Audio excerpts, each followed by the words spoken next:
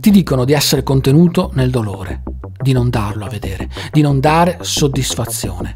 Ti dicono di trattenere, che non devi sembrare debole. Ti dicono che devi sembrare sempre un vincente, anche se in quel momento non lo sei.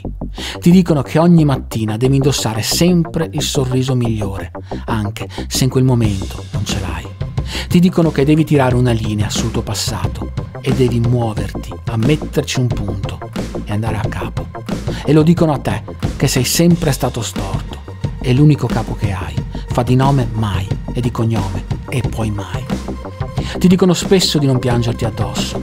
Ti dicono che le lacrime rendono meno uomo.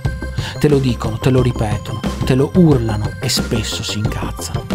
Il manuale per reagire, così lo chiamano. O forse è quello per far finta che vada spesso tutto bene.